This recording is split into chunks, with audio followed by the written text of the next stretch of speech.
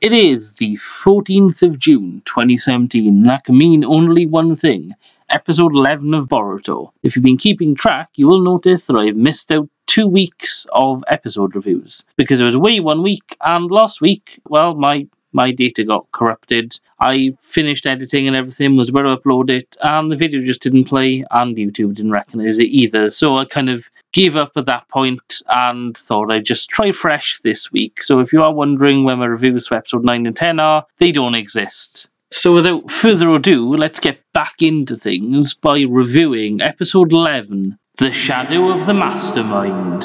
So this ties into episode 10, which I assume if you're watching this, you've seen last week.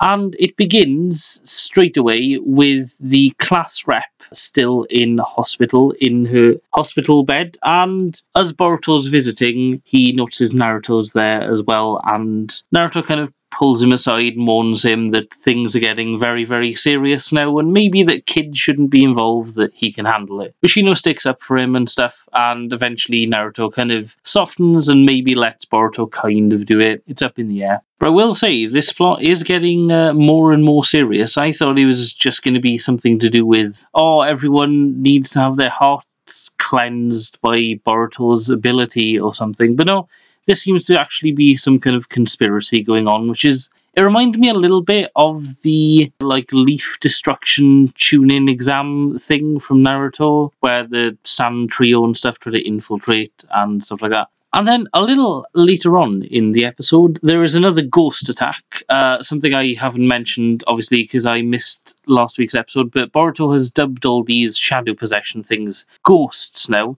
which makes it infinitely easier for me because shadow possession is a little confusing as that's already a move in Naruto. So, yeah, there's been another, I think they said there's the fifth ghost attack now. And once again, and again, an element from last week's episode that I haven't mentioned is Sai found some Hashirama cells, which is linked to the foundation, the kind of higher up area of Anbu that Sai was a member of. So this is kind of laying more groundwork and kind of giving evidence that it wasn't just a one-off thing. There's definitely some link to Hashirama cells, which is really intriguing to me. I'm not sure how that ties in at all, so I'm quite interested to see how that plays out. Maybe there's some cell in the upper areas of Anbu that's working against the leaf or something, or maybe conducting a kind of experiment. Honestly, to put all my cards on the table for a second, my theory about this is that Mitsuki and, I don't know, possibly his father, Orochimaru, and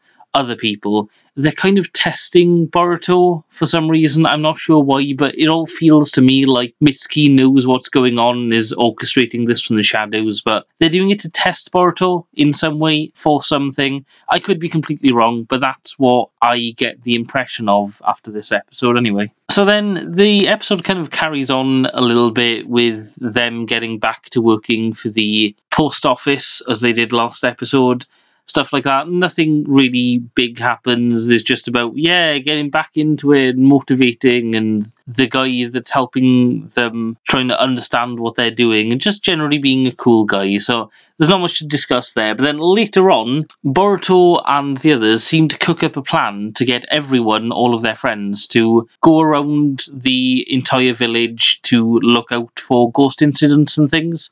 So basically, they'd spread out and send everyone around there, so they'd have the whole whole village covered. But as they escape, a mysterious masked man appears and possesses the postmaster, the kind of head of the post office. But moments later, Boruto breaks back in to the post office and reveals that the plan was fake all along, and they knew that if the person with the mask knew that all of the village was under surveillance, the last place they'd look is the post office. This is clearly a plan probably Shikadai helped with, as I don't imagine Boruto made this up, although he is known to be really clever, so possibly he made this up anyway. So anyway, they have a big fight with the postmaster who's been possessed, and as usual, they just punch him and it gets rid of the nasty possession ghost thing. And then it disappears into a large cloud with eyes for some reason. The guy in the mask, though he's cornered in a alleyway, does manage to get away though. And right at the end of that thing, we see that he's followed into the sewers by Mitsuki, who kind of stands there and just gives him a look and smiles a bit as the man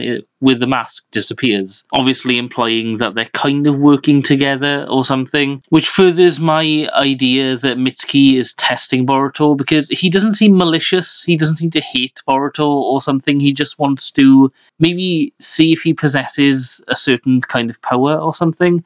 It is really vague and obviously it'll come to fruition in a couple of episodes' time, but at the moment I'm quite intrigued to find out exactly what it is he's doing in the Hidden Leaf. And finally, right at the end of the episode, the last 30 seconds or so, we see some shots of. Now, I want to say it's a mysterious guy, but someone in the comment section a few episodes to go, and thanks, dude, I didn't realize this, pointed out that it's uh, the man from Naruto the Last, the movie, the member of the Otsutsuki clan after, obviously, Kaguya was defeated and stuff. He's sort of a descendant or something. I can't quite remember. But yeah, so we get a shot of him kind of rambling about how Boruto's bringing about some destiny or something like that. And then he mentions right at the end a character he calls Nue or New New. I don't know how to pronounce that. I think he pronounced it as Nue, so I'm gonna so I'm gonna pronounce it as Nue as well. So that's interesting. That'll probably come into the storyline in a couple of episodes' time. But that about wraps it up for the story. In terms of extras and theories and stuff,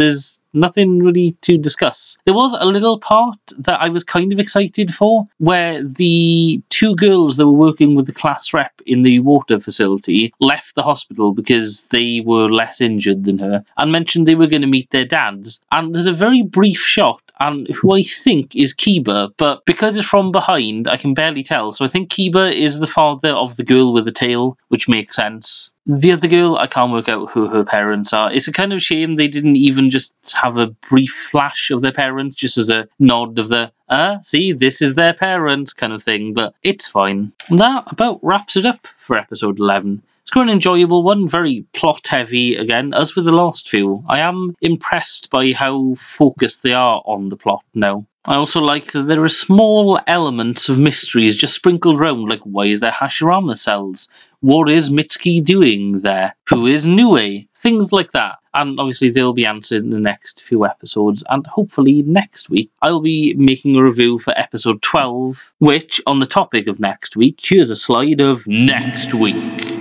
which is entitled Boruto and Mitsuki. I'm not too sure exactly what the focus of next week's episode is going to be, but it seems like Mitsuki and Boruto team up, and possibly there's going to be some focus on what the hell Mitsuki is doing, and maybe more about his motivations. But who knows, that's kind of up in the air. But anyway, thank you very much for watching. As I said, I shall endeavour to do another review for episode 12 in a week's time. But until then, goodbye.